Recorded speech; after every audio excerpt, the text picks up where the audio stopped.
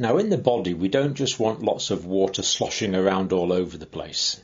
It has to be well organised and compartmentalised. So, body fluids are compartmentalised. And we normally describe two major compartments where body water is stored. And the first is the intracellular compartment. The intracellular compartment is the fluid inside the cells. Now, obviously, this isn't one compartment. There's actually billions of cells in the body, but collectively they comprise one compartment, and we call that the intracellular compartment. It contains the intracellular fluid. And if you're an average size sort of person, you might expect to have about 30 litres of that at any one time. 30 litres of water in all the billions of cells that comprise your body. So there's the intracellular fluid, and the other main classification is the extracellular fluid. The extracellular fluid is fluid which is not in cells. It's outside of the cellular compartment. And extracellular fluid can be divided into two categories, or two further compartments, if you like. And one of those is the intravascular compartment. Now, the intravascular compartment contains the blood. And if you, again, are of average size, you've probably got something like five, five and a half litres of blood at any one time. And if you've got about five litres of blood, you would expect three litres of that to be water. And the blood, of course, is found in the heart, the arteries, the arterioles, the capillaries, the venules, and the veins. It is within the circulatory system. And collectively, we can describe this as the intravascular compartment. So intravascular fluid is in the intravascular compartment. That is, it is in the blood. But then there is extracellular fluid, which is not in the blood. This is in the interstitial spaces. Now, the tissue spaces or the interstitial spaces are the spaces between the cells that comprise the body tissues.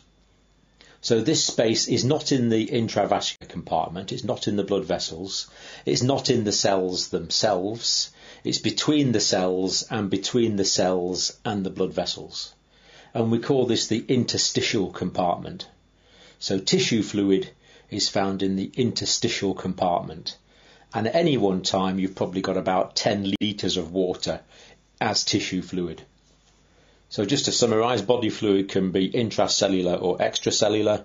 Extracellular fluid can be in the intravascular compartment in the blood or in the interstitial compartment as tissue fluid. Now in clinical practice we often talk about third spacing of fluid. What do we mean by this?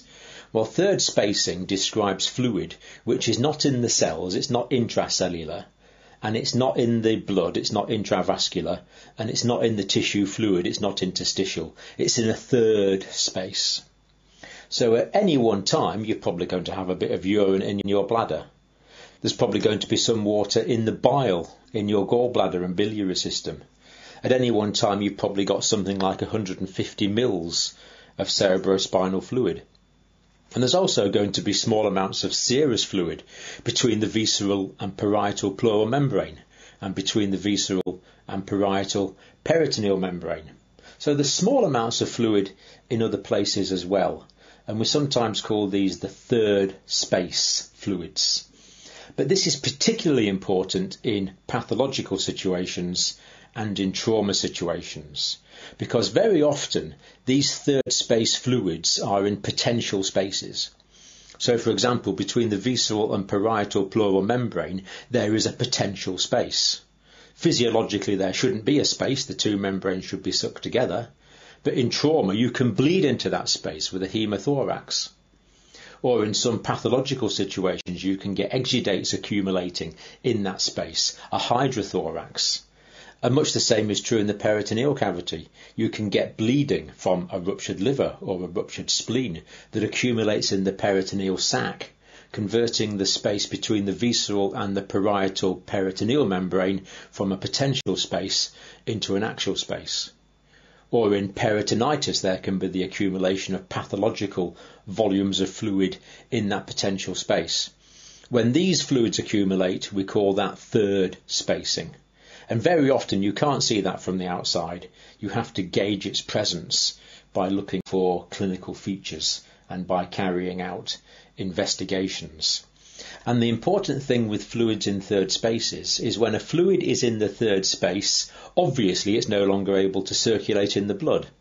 It's no longer able to occupy the interstitial space to facilitate the diffusion of oxygen from the blood to the tissue cells. So basically, pathological fluid accumulating in third spaces is not doing any good and it's depriving the normal physiological systems of the body of the fluid that is essential for sustaining life giving physiology. So that's why third spacing of fluids is important.